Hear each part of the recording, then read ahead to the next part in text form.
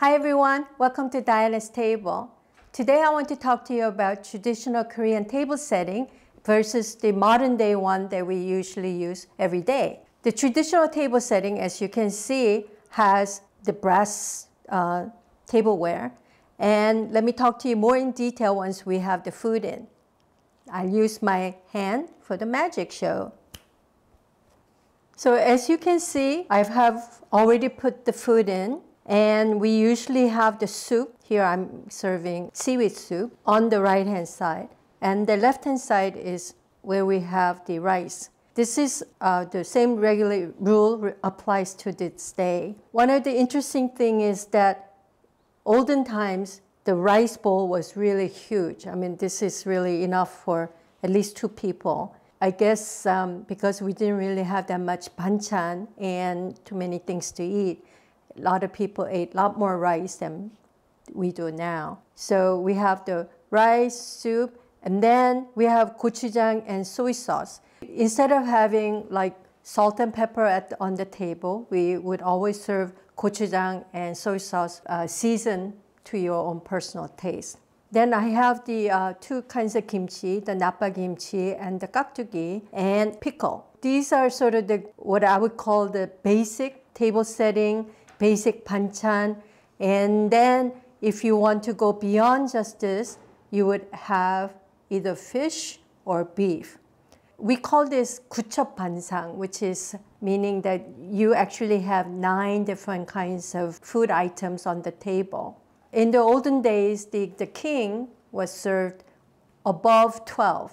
So he would get like 18 to even 20 uh, dishes. Usually in a, a regular family, uh, nine is regular and normal amount of food that you would have on the table. Even having nine these days is a big hassle because, you know, who has the time to make all this food, right?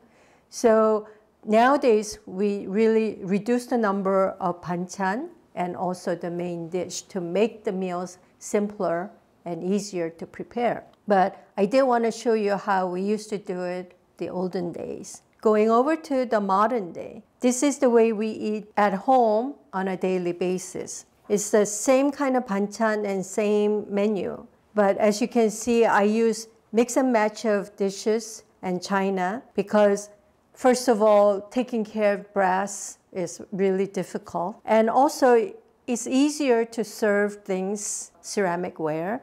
And then plus, I don't really like to have a, you know, one uh, uniform set. So I use different kinds of china dishes that I like. One difference to uh, the traditional way and the modern way is that you notice that I don't have soy sauce and gochujang on the table because we try to eat low sodium food all the time. But not only that, it, you know, everything comes seasoned, well seasoned, so you don't really need uh, extra soy sauce.